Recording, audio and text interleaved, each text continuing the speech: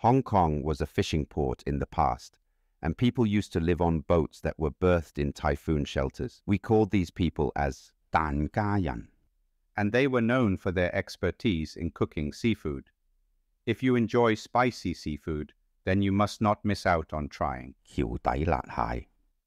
This channel regularly introduces food and entertainment information in Cantonese-speaking distract and learns Cantonese at the same time. If you are interested, please subscribe and press the small bell. And don't forget to follow our Instagram and Facebook. When ordering, you can say 老细，一碟桥底辣蟹唔该。 or 伙计，唔该一碟桥底辣蟹。 Cantonese grammar is flexible and 唔该， can be placed at the beginning or end of a sentence. 伙计， Refers to the waiter or waitress, regardless of gender. The crab used in kiu Dai Lat Hai is fresh Vietnamese meat crab, which is savory and meaty.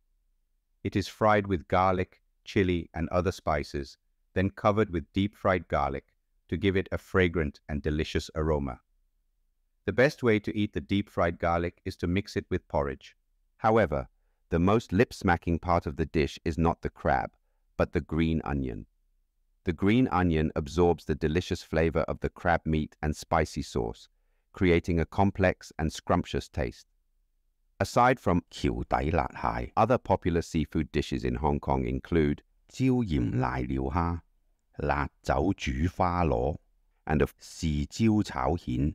Of course, the most important accompaniment is a cold glass of beer, bei. In Hong Kong, seafood is typically priced per gan And the price varies depending on the day's supply, which we refer to as 海鲜价。 If you're curious about the price of, 濑尿虾， you can ask, 喂，靓仔，濑尿虾几钱斤啊？二百蚊斤啊！哇，咁贵？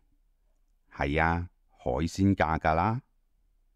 This might sound expensive, but it's simply due to the daily fluctuations of, 海鲜价 Remember, gum in gumguai is pronounced in the third tone, expressing surprise. Gala is an interjection that means, of course, Cantonese speakers love using interjections such as wai, ah, la, and wa.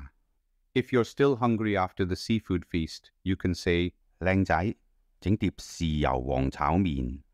Leng zai doesn't actually refer to a handsome boy, but is a term for addressing men.